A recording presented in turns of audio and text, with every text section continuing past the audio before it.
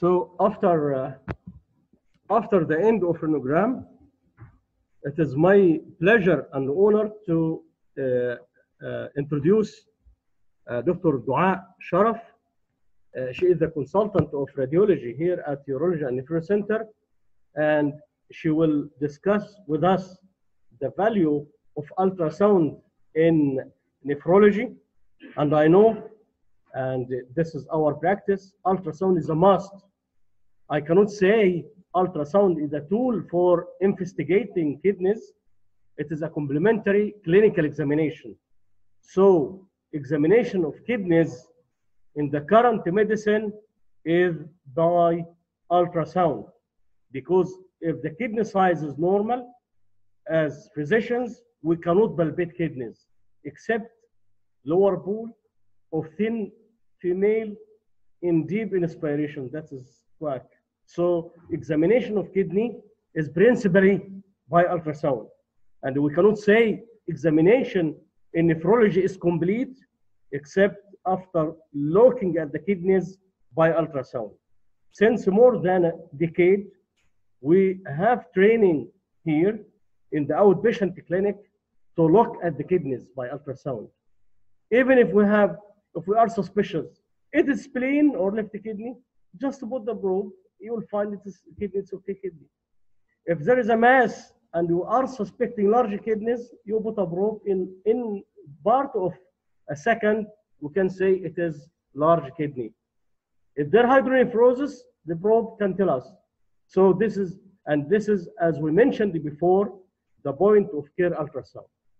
The details of ultrasound and the value of ultrasound, I'm sure that we will have a very nice idea from Dr. Doaa Sharaf, the consultant of radiology at the and Nephro Center, and we are going forward to start her presentation uh, now.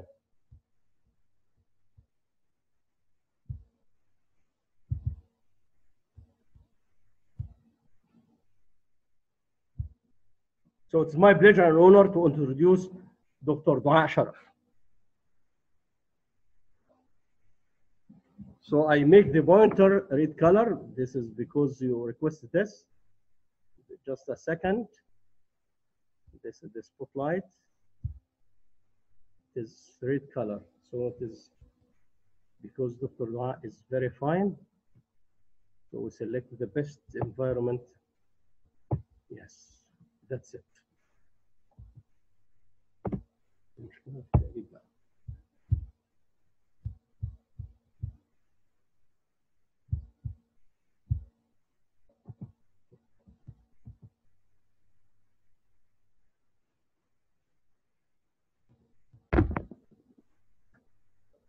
Good afternoon.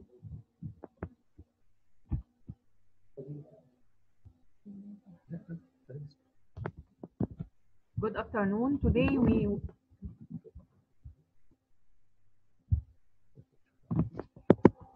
Good afternoon. Today we will talk about renal ultrasonography and nephrology.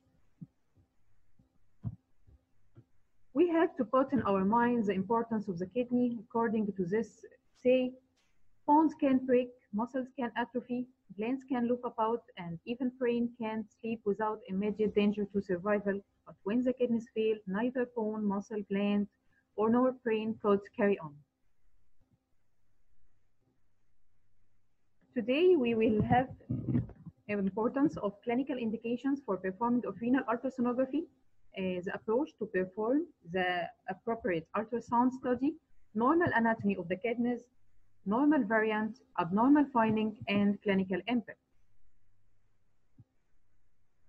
Protocol of ultrasonography, we have to scan both kidneys, urinary bladder, residual volume, aorta, and if we need their additional local protocol. Ultrasonography done in suspected renal colic, uh, if there is colicky flank pain radiating to the groin, if there is hematuria, or during routine investigations for other systems, to answer two important questions if the presence of parenchymal disorders or presence of hydronephrosis. No need for patient preparation before ultrasonography study. we use transducer of 3 megahertz or 3.5. In very thin patient, we have to use 5 megahertz probe. Patient positioning, we uh, use, uh, we make the patient in the supine position, uh, posterior oblique, lateral decubitus, and prone position. Kidneys are retroperitoneal organs opposite thoracic 12 up to down to uh, fourth lumbar vertebrae. Right kidney is lower than the left kidney. Right kidney is posterior inferior to the liver and gallbladder. Left kidney is inferior and medial to the spleen. Arterial supply, the renal artery arises from the aorta directly and venous drainage drains into IVC also directly. Adrenal glands are superior, anterior, medial to each kidney. Here, on the right side, there is the liver, right kidney, right suprarenal gland, renal artery, and renal vein. On the left side, there is a spleen, left kidney, left suprarenal gland, and left renal vein, left renal artery, left renal artery, and the left renal vein. How to do renal ultrasonography approach? The patient is in the supine position, and here we will put the probe anteriorly in the subcostal area, then in the mid-axillary line,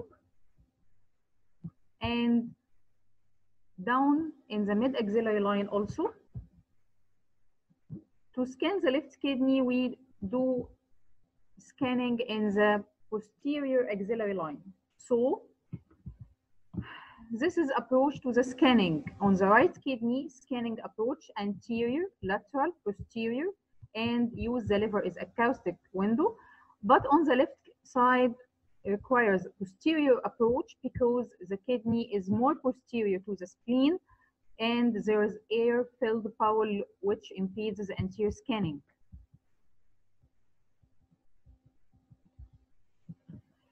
Here we put the probe in the right lower intercostal space in the mid-axillary line to scan the right kidney to obtain longitudinal scan. Longitudinal scan mean that that is anterior orientation and here posterior orientation. Here is superior orientation and here is inferior orientation. It means that is the upper pole of the right kidney and there's diaphragmatic crust and there's a liver as acoustic window.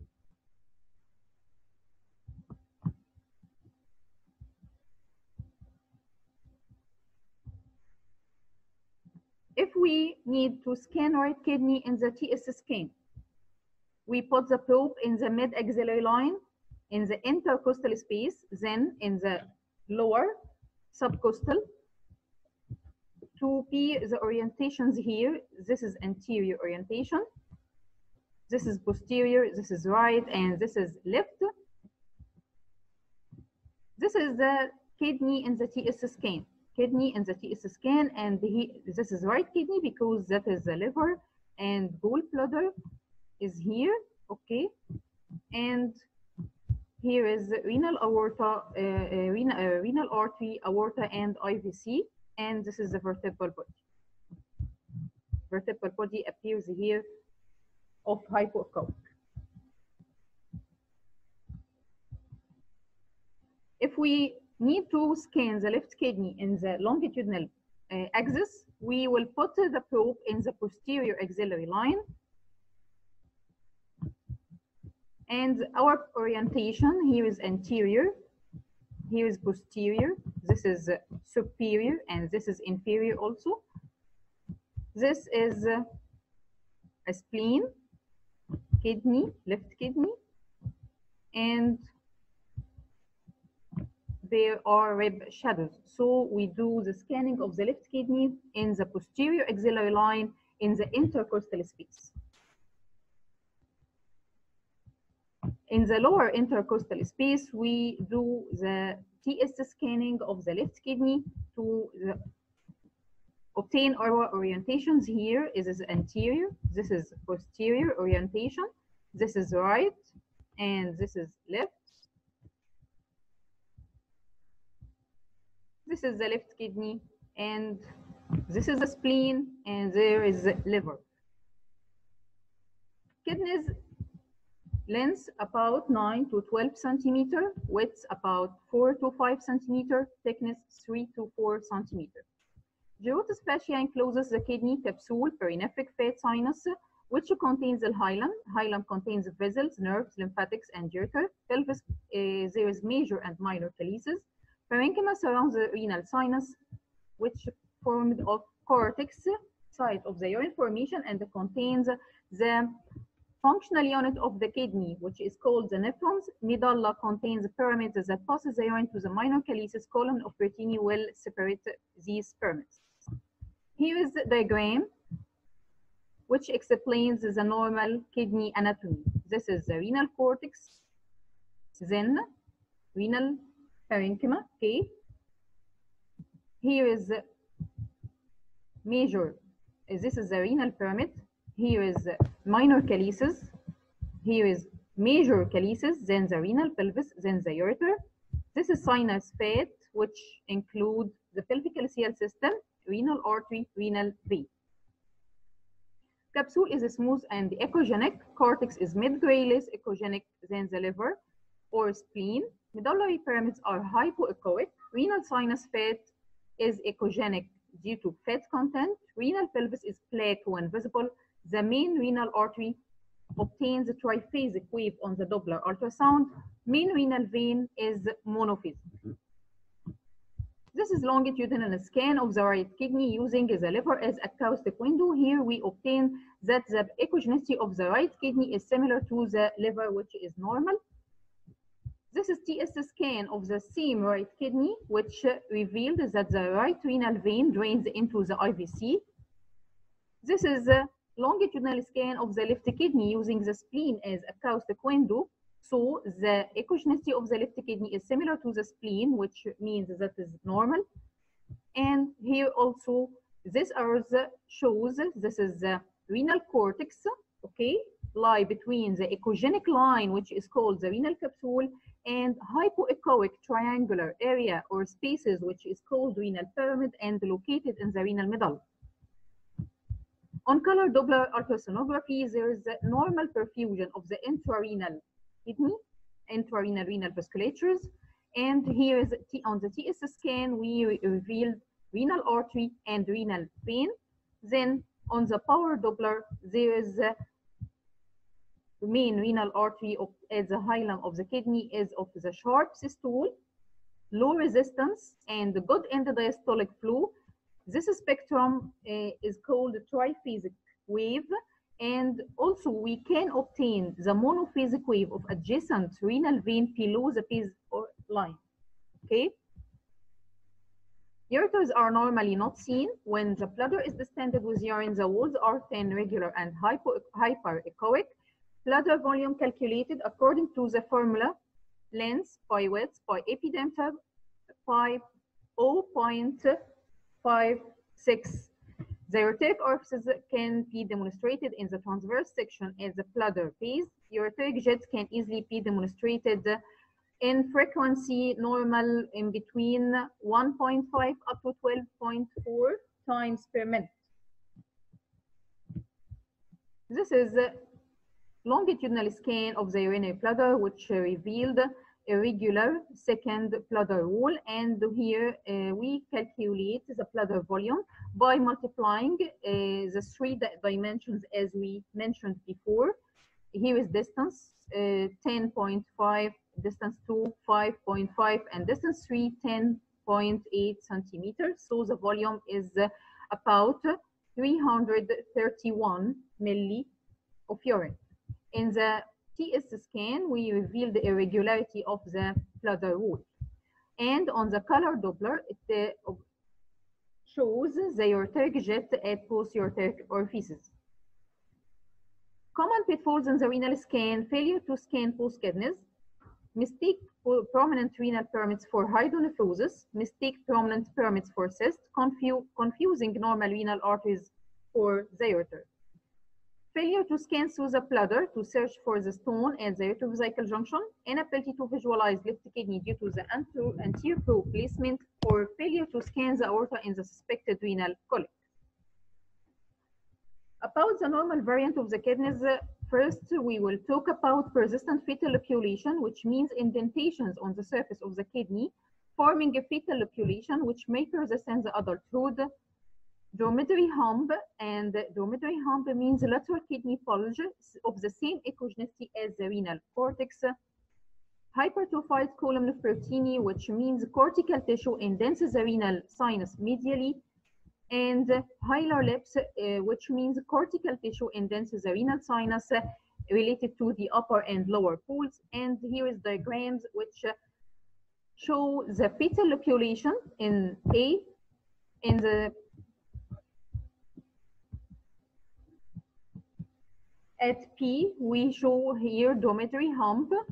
Here there is a hypertrophied column of Bertini, and lastly we show hilar lips at the upper and lower pools of the kidney.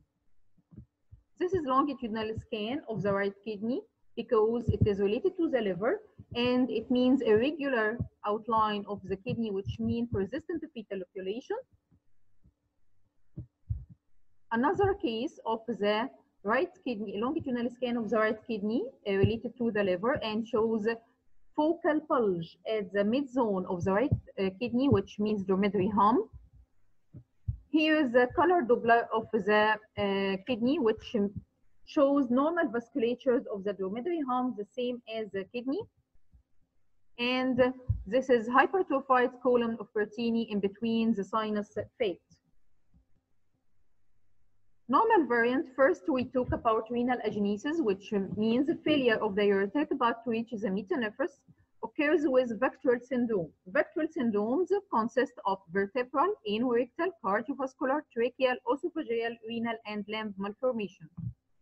Here there is a liver and uh, there is a low-lying right suprarenal gland. There is no kidney and there is low position of the right suprarenal gland because of the absence of the right kidney. Second variant, we will talk about double collecting system. A double collecting system, it is difficult to be diagnosed on ultrasonography if there is no hydronephrosis. But if there is hydronephrosis in one or post moieties, it is more easier to be diagnosed with ultrasound. There are two separate collecting systems and duplex ureters, complete or incomplete. Upper moiety mostly with ureterocele and the lower moiety mostly associated with vesicular reflux. Here we uh, longitudinal scan of the kidney which consists of the upper moiety with hydronephrosis and the lower moiety with mild degree of hydronephrosis. Uh, so we uh, when we observe the hydronephrosis in the upper moiety, we will check about the presence of the ureterocele related to the bladder, and it is present. And this is the dilated ureter related to the moiety of hydronephrosis. Third one, horseshoe kidney. Kidneys are connected usually at the lower pool of the post kidneys. And renal ectopia, which means uh, one or post kidney is present outside the normal renal fossa. Cross diffused kidney, which means one kidney attached to the lower pool of the other kidney. Here is TS scan of uh, at the midline, which revealed the connection and uh, of the post lower pools of the post kidney in front of the aorta and the vertebral column at the midline. This is called isthmus of the horseshoe kidney. Uh, this is coronal section in the horseshoe kidney, which revealed that is the right compartment and left compartment. Here is the aorta IVC, and the post lower loops are connected in front of the vessels at the midline. This is DMSA scan of the horseshoe kidney, which revealed normal uptake by the left compartment and reduced uptake by the right compartment of the horseshoe kidney. Of ectopic kidney, here we will uh, notice that the right kidney is present beside the bladder, and it uh, means that the right kidney is present in the pelvic region, uh, outside the normal renal fossa at the lumbar region. Uh, in the TS scan, here is the right kidney, here is the uterus, and there is the blood. But in the cross-diffused ectopia, we notice that the kidney is attached to the lower pole of another kidney at the same side and may uh, misinterpreting as a very large organ. Extrarenal pelvis is uh, means projection outside the kidney medial to the renal sinus, but it is best seen in the TS scan at the renal hilum. It is important to differentiate it uh, from the dilated pelvic calyceal system, parapelvic cyst, or the collection. There is longitudinal scan of the kidney, and here is extrarenal pelvis. Okay, uh, in the TS scan, also there is a baggy of renal pelvis outside the kidney, which means extrarenal pelvis. Extrarenal pelvis uh, should be uh, differentiated from the pelviureteral junction obstruction, which is defined as obstruction of outflow of the urine from renal pelvis to the proximal ureter, may be due to intrinsic, extrinsic causes, or even crossing vessels. Should do diuretic renography to assess renal function if this kidney is obstructed or not, because not every dilated system means obstructed kidney. Here is longitudinal grayscale ultrasound of the right kidney, which uh, show moderate to marked hydronephrosis with dilated paloned renal pelvis outside the sinus kidney. So it is uh, important to differentiate also between the pelviureteral junction obstruction and hydronephrosis, which means dilatation of the collecting system proximal to the site of the obstruction, mostly associated with dilated part of ureter or even whole length of the ureter down to the bladder. And here is a, a longitudinal grayscale ultrasonography of the right kidney, which uh, revealed mild hydroureteronephrosis. Hydronephrosis may be due to intrinsic causes uh, of acquired nature as renal stones, neoplasm, papillary necrosis, ureterocele, blood clot, neurogenic bladder, anticholinergics, pregnancy, or even pelvic inflammatory disease, diuretics, vesicular reflux, and diabetes insipidus. But intrinsic causes of congenital nature may be due to stenosis as urethral or urethral meatal uh, stenosis, or a dynamic ureter, which is called mega ureter, spinal cord defects, duplication of the ureter, and ureterocele. These diagrams show the causes of the hydronephrosis according to the anatomical site at the renal pelvis may be calculi, tumors, ureteropelvic junction obstruction. Uh, at the ureteric Uh, lens may be intrinsic cause or extrinsic cause. If intrinsic, may be stones, tumor, clots, slough the papillae inflammation. Extrinsic causes may be pregnancy, tumor, retroperitoneal fibrosis. At the bladder, may be calculi, tumors, or functional as neurogenic bladder. At the urethra, posterior valve and tumors, and at the prostat prostatic hyperplasia, carcinoma, and prostatitis. Grades of hydronephrosis. This is normal kidney because the renal pyramids are separated by the normal renal parenchymal tissue and there is no planting or dilatations of the calyces, whatever minor or major calyces, okay? Once occur separation between the calyces as here, this is called mild degree of the hydronephrosis. Moderate degree of hydronephrosis means dilatation of the major and the minor calyceal system plus perforation of the calyces. Severe degree of the hydronephrosis means marked dilatation of the renal pelvis with the thinning of the renal parenchyma. So according to the Society of the Fetal Urology, the grades of the hydronephrosis is classified into uh, no splitting of the renal sinus fat or even slight splitting, which is called grade 1, if there is a splitting uh, and the urine fills the renal pelvis with or without major calyceal dilatation, that is called grade 2. Grade 2 plus uniform dilatation of the minor calyceal uh, system with preserved renal parenchyma called grade 3. And grade 4 means grade 3 plus parenchymal thinning, which means loss of the parenchymal thickness. Renal disorders, uh, we talk about it today, renal parenchymal disease, cystic renal disease, infective, and lastly, vascular renal disease. Diffuse renal parenchymal disease means that the normal size of uh, the kidney with normal contour uh, may be due to nephrocalcinosis or um, primary papillary and calyceal abnormality.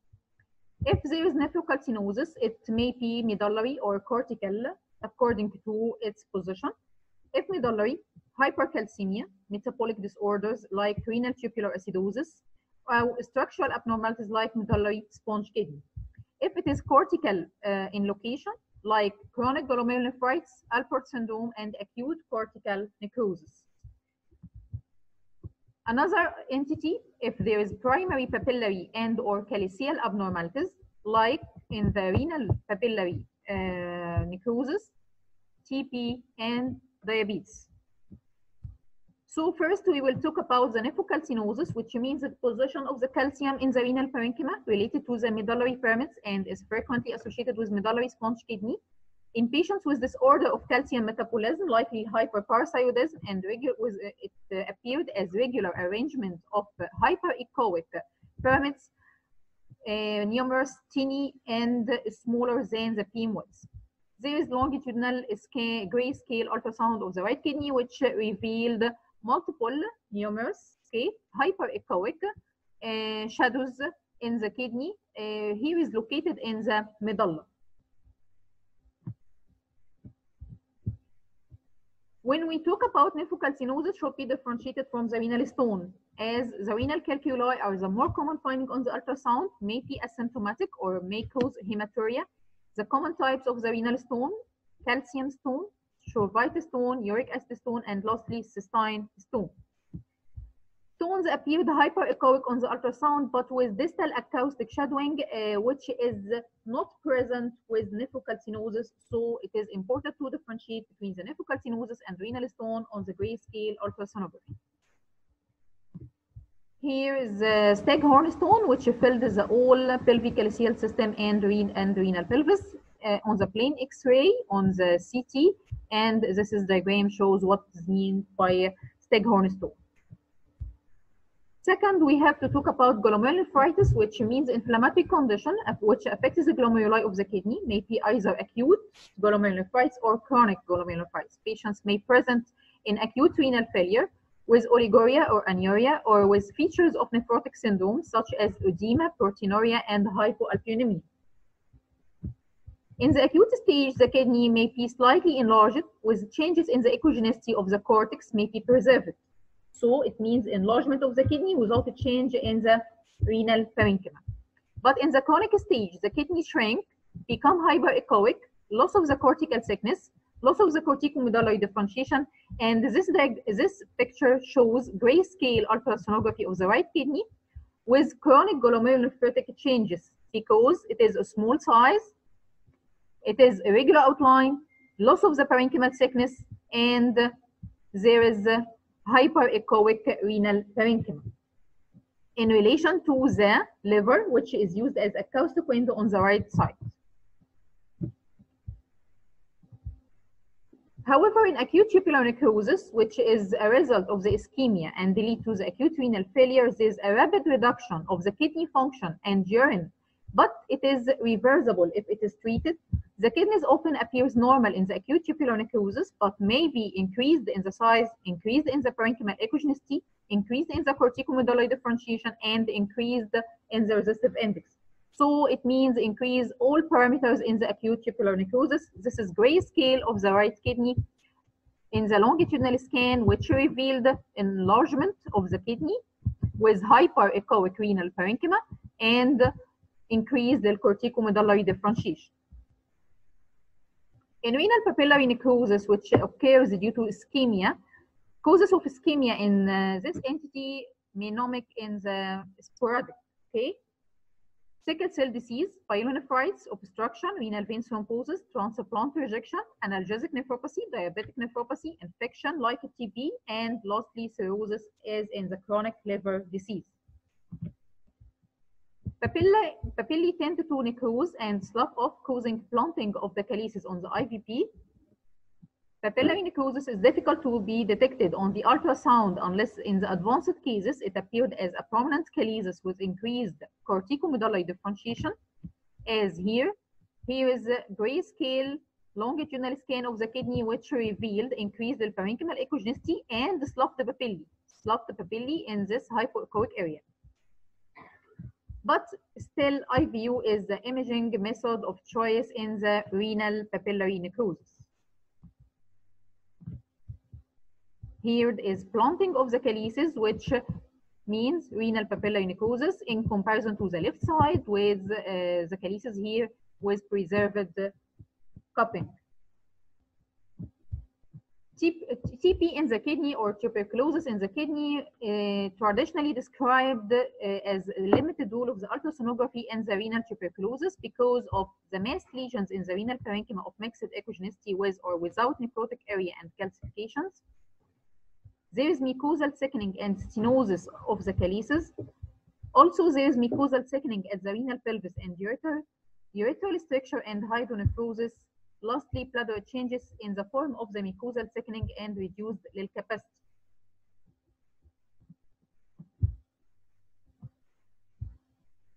This is longitudinal scan of the right kidney, which revealed multiple hypoechoic caseating area in the renal parenchyma, which coincides with the tuberculosis in the kidney. Okay.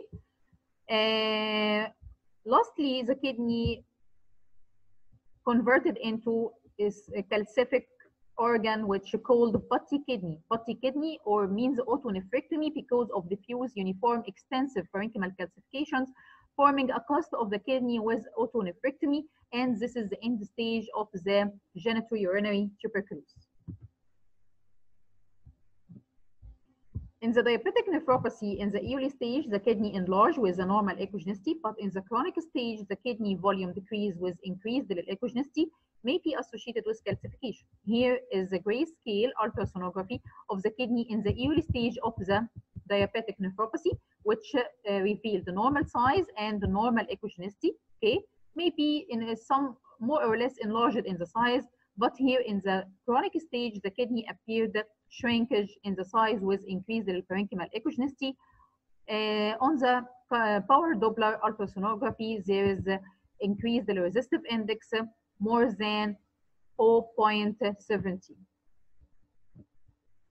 Cystic renal disease. Ultrasonography will visualize simple cysts as well as complicated cysts, adult polycystic kidney disease, multicystic dysplastic kidney, and hydatid cyst. The simple renal cyst is the most common renal mass, up to 50% of the population, and uh, their incidence increasing with age. Parapelvic system must be differentiated from pelvic calyceal dilatation or an extrarenal pelvis because uh, it causes a filling defect on the IVP. Cyst can hemorrhage causing pain. Large cyst, particularly of the lower pool, may be palpable. Renal cyst displays three basic characteristic uh, features on the ultrasonography. Anechoic, thin, well-defined capsule exhibit posterior enhancement. Hemorrhage or infection can give rise to the low-level echoes within the cyst. The capsule may display calcification. Here is grayscale ultrasonography of the uh, kidney with small cyst with posterior enhancement. And uh, there, here is the cyst contains some calcification. Cyst may be mistaken for hydronephrosis or for the aortic aneurysm, so it is important to diagnose it properly. Characteristic of the renal cyst, it may be single rather than multiple, may don't communicate with each other, uh, but hydronephrosis does. May be round or oval. It is free uh, of echogenicity because uh, so it appears anechoic. Sharp interface between the mass and the renal tissue. Large renal cyst may be mistaken for the aortic aneurysm. But in the complicated renal cyst, we have to uh, comment on some uh, additional features like calcification, septations, alveolar nodules, or soft tissue. Uh, because according to the Bosniak renal cyst classification, the sample cyst appeared anechoic, imperceptible wall, round shape, uh, need no nothing.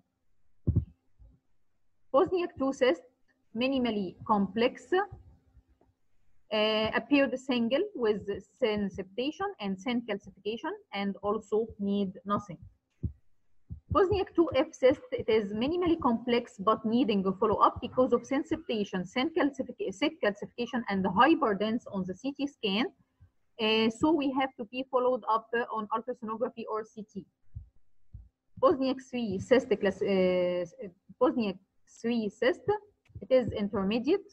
Because of sick or multiple septation, nodule, hyperdense on the CT, and it needs a partial nephrectomy. Lastly, Bosniak 4 cyst, which is clearly malignant cyst because it contains a solid soft tissue mass, uh, may be enhancing with uh, within the cyst and need partial or total nephrectomy. This diagram shows Bosniak 1 cyst, uh, which is a sample 1, Bosniak 2 septation, Bosniak 2F with calcification and need follow-up, Bosniak 3 6 septation with mural nodule on the septation, so need partial nephrectomy. Bosniak 4 there is enhancing soft tissue masses within the cyst, so need partial or total nephrectomy. Uh, but if uh, these cysts are diffuse in the renal parenchyma, we will talk about the polycystic kidney disease or adult polycystic kidney disease. It is an autosomal dominant one, normally associated with progressive renal failure. In about 50% of cases, cysts are present in the liver, spleen, pancreas, ovary, and arachnoid cysts. It appeared on ultrasound uh, as multiple bilateral numerous cysts of variable size, not connected to each other, not connected to the renal pelvis, may having irregular margin. Uh, there is often little or no demonstrable normal renal tissue in between. Some are simple, others are hemorrhagic and may contain stones inside.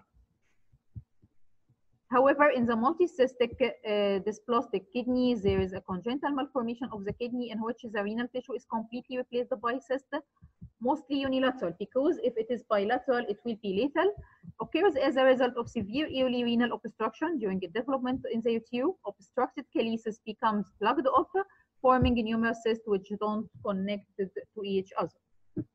Here is a grayscale ultrasonography of the multicystic uh, uh, dysplastic kidney, which uh, showing multiple cysts not connected to each other, and there is no normal renal tissue in between. So this case, if we proceed on the diuretic renography or DMSA scan, it will show photopenic area at the, poly, at the site of the multicystic dysplastic kidney because there is no uptake by the tracer as it's not, not containing normal renal tissue. Infective renal disease such as renal abscess, xanthogranulomatosis pyelonephritis, and the hydatid cyst. In the renal abscess, it is a progression of the focal inflammation within the kidney. It appeared as a complex mass with distal acoustic enhancement of ill-defined margin at first, then becomes more obvious increased echogenicity due to the low level echoes from pus, but it may also be hypoechoic. Non-liquefied center, the abscess may be intrarenal, subcapsular, or even perineal. Here is grayscale longitudinal scan of the left kidney, which uh, showing there is focal abscess in the mid zone at the posterior surface of the mid zone of the left kidney of a hyperechoic appearance and uh, some liquefaction inside. On the power Doppler ultrasonography, there is no color in the renal abscess because it is a vascular lesion because of the inflammation.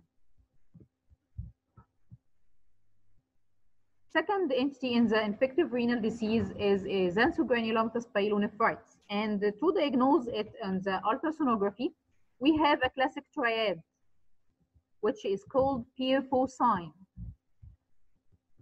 It consists of obstruction uh, by stone, which may be fragmented, leading it with an enlargement, hydronephrotic, non-functioning kidney with fat globules. Um, every entity have specific characters on the ultrasonography. There's enlargement of the kidney with hydronephrosis and the low-level echoes inside because of the infection. And there's an obstructing hyperechoic renal stones with posterior acoustic shadowing behind. Last entity in the infective group is hydatid cyst, which uh, caused by Echinococcus parasite. Parasite form a cyst which has a second wall often with a smaller peripheral daughter cyst, frequently main cyst contains echoes, may contain floating membrane indicating impending rupture. This is hydatid cyst, a large cyst with multiple peripheral daughter cyst, and in uh, this case, uh, this is called floating membrane or water lily sign, which uh, means that impending rupture. Vascular renal disease such as renal artery stenosis or renal vein thrombosis, AV fistula, and lastly, we will talk about the ultrasound in the dialysis patient. Renal artery stenosis mostly due to atherosclerotic disease or due to fibromuscular dysplasia of the arterial wall in the younger, generally female patient, cause hypertension and they may eventually cause renal failure as the site of stenosis and increase in the peak systolic velocity may be found greater than 1.5 up to 1.8 milli per second with post-stenotic turbulence. This table shows direct and indirect signs of the renal artery stenosis.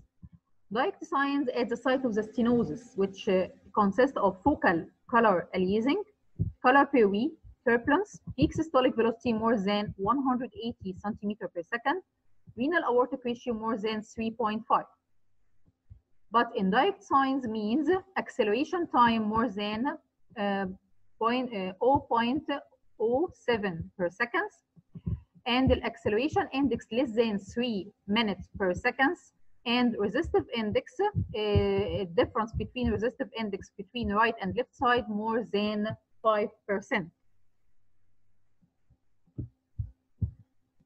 Here is a color Doppler of the kidney with renal artery stenosis, which revealed that there is a, a low, uh, there is no sharp stool, it is low, okay? And it is uh, of more resistance, okay?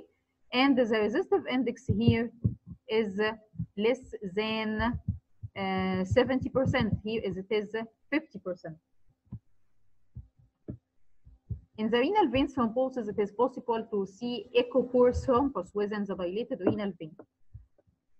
Color Doppler confirm absence of the venous flow on perfusion within the kidney itself is reduced, highly pulsatile arterial waveform with reversed diastolic flow. If the thrombus produces total and sudden occlusion, the kidney becomes edematous and swollen within the first 24 hours. Eventually, it will shrink and become hyperechoic. Here in the renal vein thrombus, there is echo free or uh, the renal vein. It is not uh, on the color Doppler. Is that it means there is a renal vein thrombus, and in the wave there is a reversed diastolic flow in the main renal artery, which means renal vein thrombus. Renal vascular malformation localized vessel enlargement with turbulent, sometimes high velocity flow, may occur after renal biopsy. It uh, appeared as a pool of the color flow is often present, as here.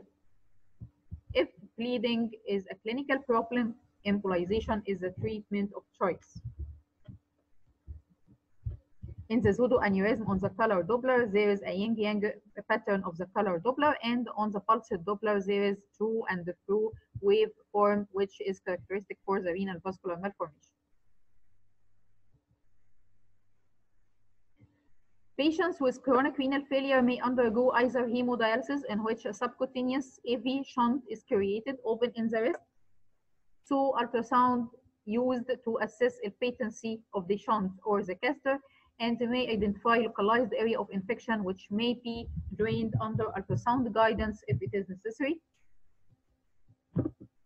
Lastly, we will talk about the renal transplantation, which means heterotopic placed in addition to the native deceased kidney or after removal of one native kidney, positioned in the extraperitoneal space and uh, usually in the right side anterior to the iliacus and psoas muscles. This is the kidney donor and this is the graft uh, artery and this is the graft vein and this is the ureter which is uh, connected to the blood renal transplant, uh, we have to assess morphological appearance as a pelvic cell dilatation, perirenal fluid collections. Also by the power Doppler and color Doppler, we have uh, uh, to comment on the spectral Doppler waveforms and the nature of the renal artery, renal vein, or even AV malformations as we described before in the intervention, uh, we use ultrasonography as uh, in the guide biopsy procedures to drain fluid collections in the placement of the nephrostomy tube. Morphological appearance of the renal transplant. It appeared as uh, the echogenicity of the cortex, medulla, and renal sinus, and corticomedullary differentiation. Size change in the renal size may be significant in the transplant organs. It is useful to calculate the renal volume, circumference, or L surface area, pelvic calyceal dilatation, and degree of the hydronephrosis. Vascular anatomy, if there is global perfusion, can be assessed with color Doppler. The normal spectral Doppler waveforms is a low resistance waveform with continuous forward uh, and diastolic flow. Also, we have to comment on the perineal fluid as a common complication either resolves continuously or need drainage. This is grayscale longitudinal scan of the renal transplant. This is uh, by the power Doppler, uh, which revealed the good perfusion of the uh, graft up to the cortex. This is color Doppler of the intrarenal vessels and at the renal hilum, which revealed the patency of the main graft artery and the graft vein. Spectral analysis of the waves revealed the normal triphasic arterial waveform of the intrarenal vasculatures, which means normal graft vessels. Also, we use an ultrasound in the post-transplant complication assessment, which is divided into three main categories according to immediate post-operative complication, primary, secondary renal dysfunction. If it is immediate, there may be non-perfusion of the graft, normally the result of an occluded or twisted renal artery. Uh, here we need the surgical correction or hematoma.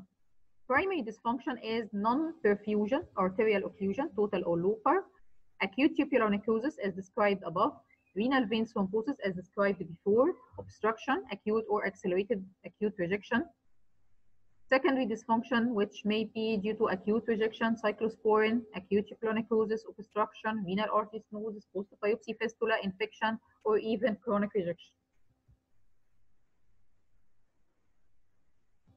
Renal transplant rejection may be acute or chronic. If it is acute, it will lead to delayed graft function. Uh, in the acute phase, it appeared on the ultrasonography as enlargement of the kidney due to the edema, increased the echogenicity, increased the corticomedullary differentiation with prominent renal pyramids, and decreased the uh, fat uh, in the renal sinus, which leading to the splitting of the pelvic calyceal system. Here is a grayscale ultrasonography of the renal transplant in the acute rejection phase. The kidney appeared swollen because of increased size with increased parenchymal echogenicity and the prominent pyramid and also increased the corticomedullary differentiation. In the chronic phase, gradual deterioration in the renal function that may be appearing any time uh, after three months of the transplantation. It appeared increase in the echogenicity of the kidney with the reduced corticomedullary differentiation. Kidney will shrink. The Doppler resistance in the uh, Doppler resistance indices are increased in the rejection, but this finding is not specific. So in the chronic renal rejection, here the kidney appear more or less of the normal size, but with uh, increase little echogenicity and decrease the corticomedullary differentiation. And on the uh, Doppler ultrasonography, it appeared increased the resistive index, but uh, it is not specific for the uh, chronic transplant rejection.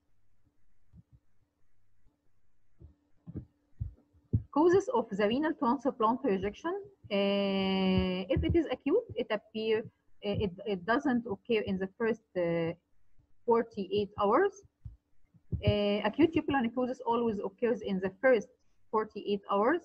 Obstruction has a relatively slight increase in the resistive index and is uh, associated with pelvic calyceal system dilatation. If the cyclosporin toxicity has to be prolonged and severe, affect the endodiastolic flow and the blood levels. If there is renal vein thrombosis, it is a late complication of the renal transplant has a characteristic reversible endodiastolic flow pattern. The artery has a low velocity systolic peak in the early stage, no venous flow identified. If there is perirenal fluid collection, there is a compression of the kidney causes an increase in the intrarenal pressure.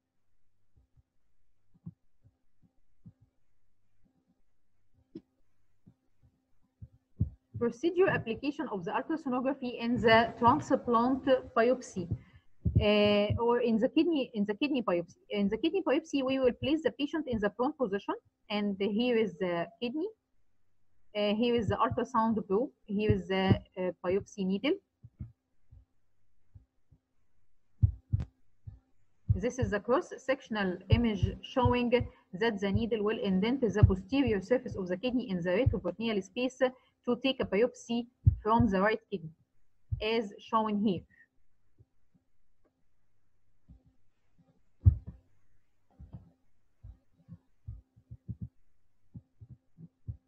So we use the ultrasonography in the percutaneous renal biopsy, in the catheter placement in the hemodialysis patient, in the drainage of the collection and cyst aspiration.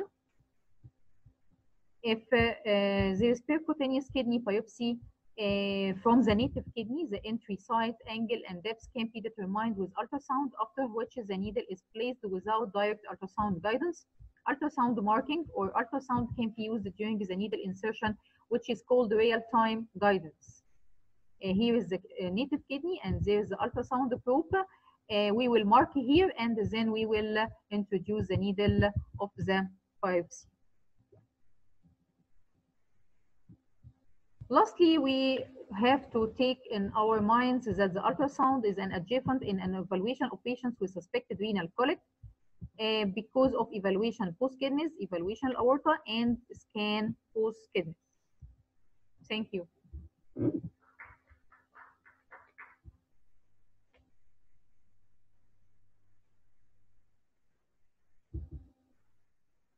Any questions about um, ultrasound appearance of uh, any entity we have talked about?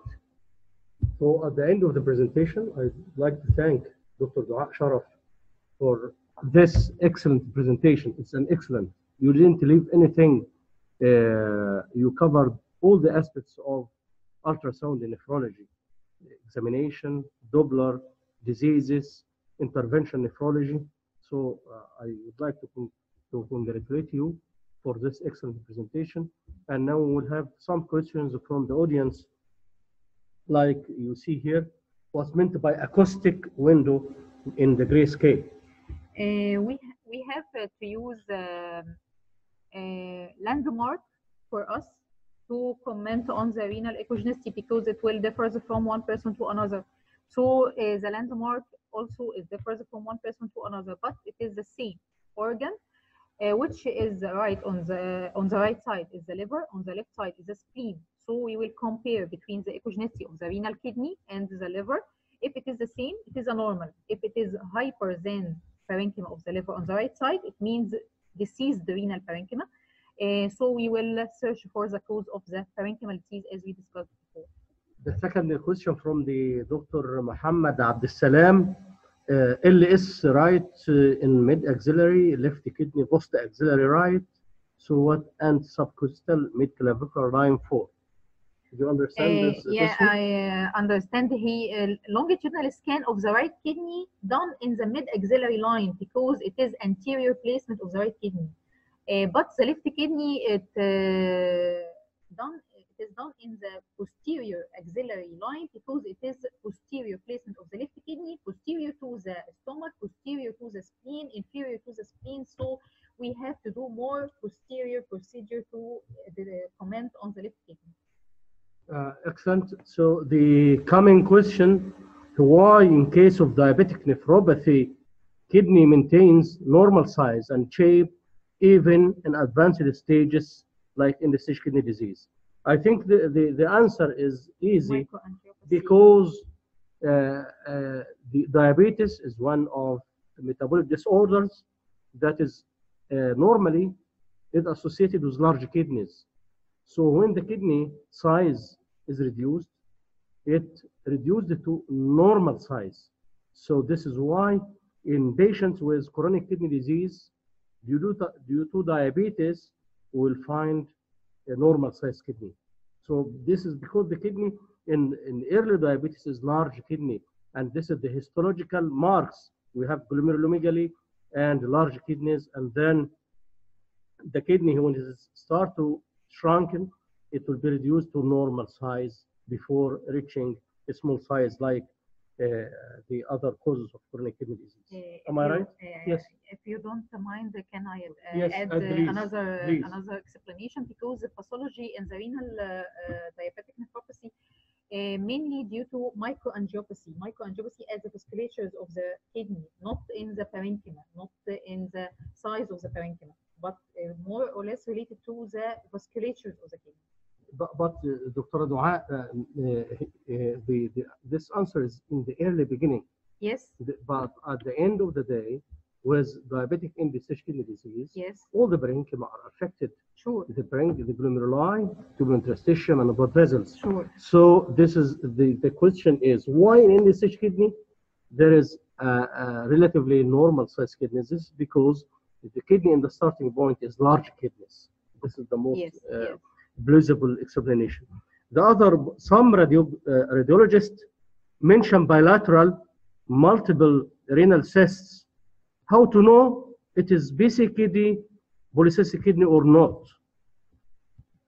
It is uh, very easy to diagnose uh, adult polycystic kidney disease. We have some criteria. We comment on it. Uh, first, large kidney, more than the normal size.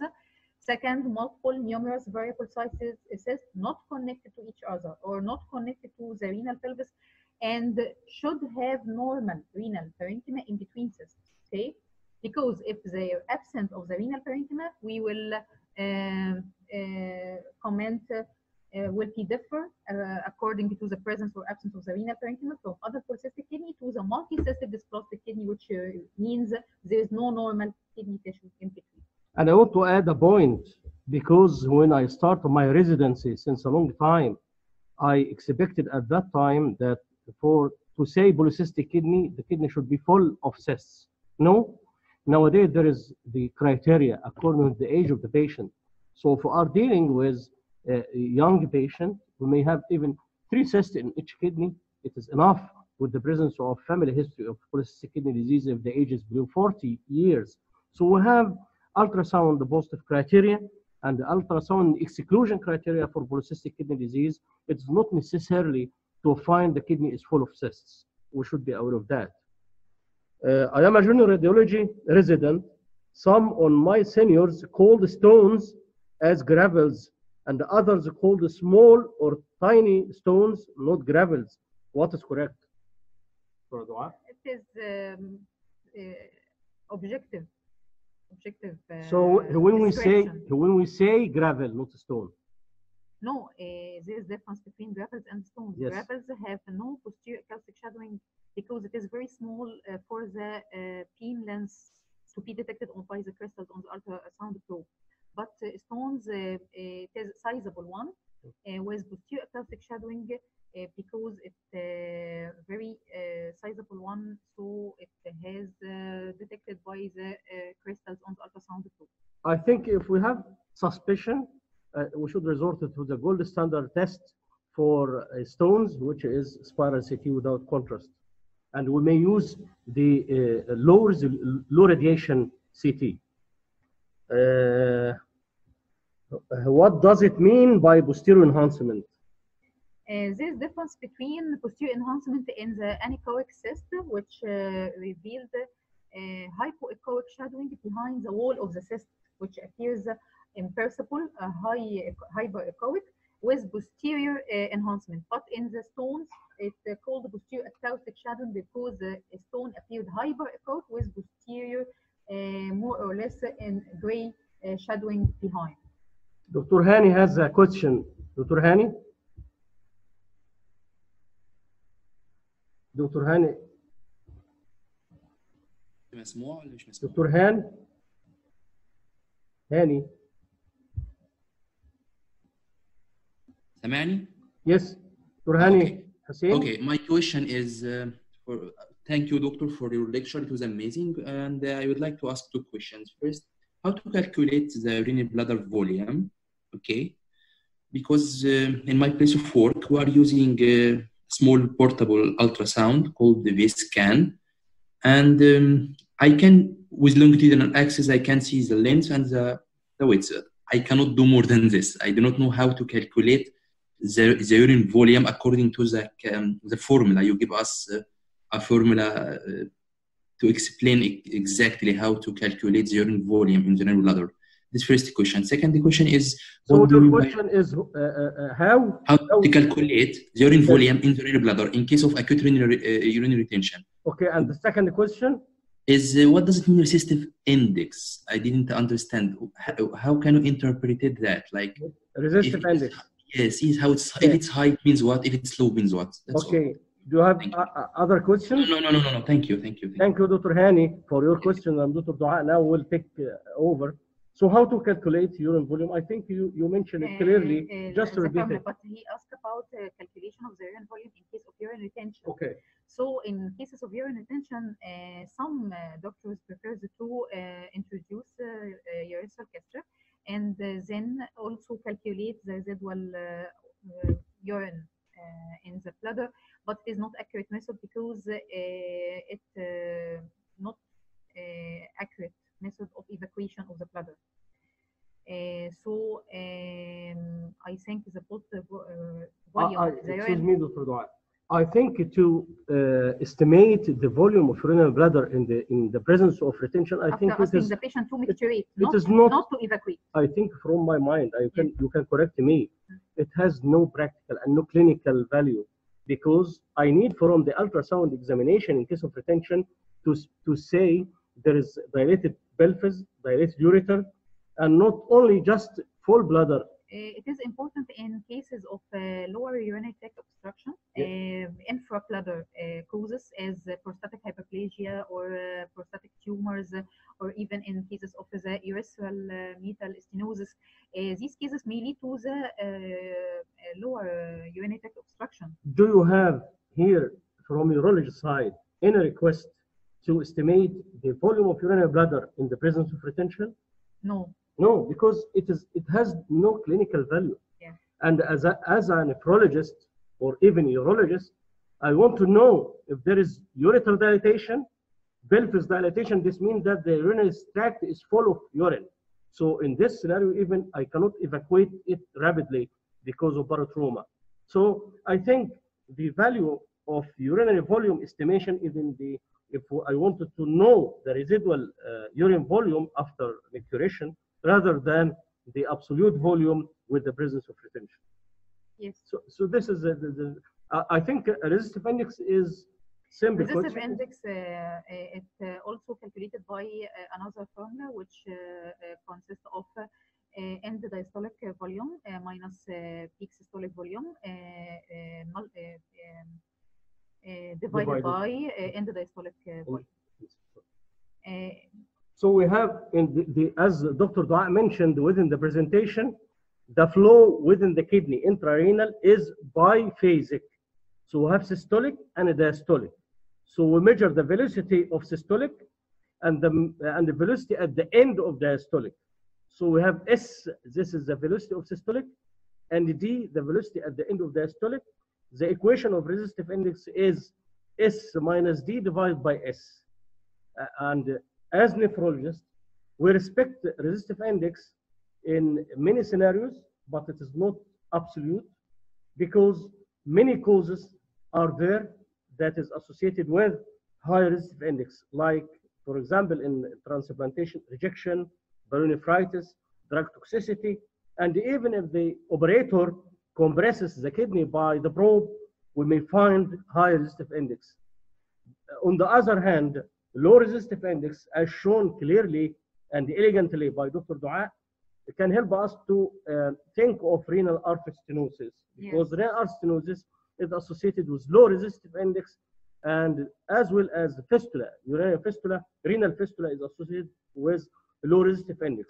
But the morphology of the wave is different in, uh, uh, in the case of artery artery stenosis from the fistula. So it is easy to calculate resistive index. Um, it is calculated uh, on, um, On the uh, screen, screen automatically. Yeah, yeah. Uh, sometimes we uh, do uh, Doppler ultrasound at the time of discharge of uh, renal transplant patient from the hospital, and the resistive index at the end, the basal resistive index, Yes. is one of the prognostic markers that can be associated with graft outcome. And I think the rest, the rest of questions are uh, congratulating Dr. Doaa for excellent presentation. Hope uh, It was- uh, It was very for, uh, impressive for presentation. And the last one, may I ask what is the significance between resistive index and the pulsatility index? Uh, when to use pulsatility or it is not needed? This is the last question. No, pulsatile index is not needed in uh, conditions we talk about it in the nephrology. We uh, only use resistive index. Resistive index means, uh, as uh, Dr. Hussein said, uh, that uh, if it is increased resistive index in some cases and decreased resistive index in another, it is diagnostic and no need for pulsatile index. So Dr. Tariq Zayan, do you have any questions? Dr. Tariq?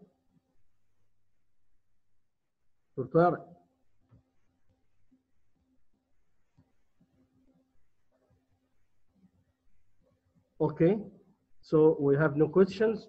So at the end, thank you very much, Dr. Doaa, for this excellent presentation. It is a really wonderful and impressive presentation. Thank you.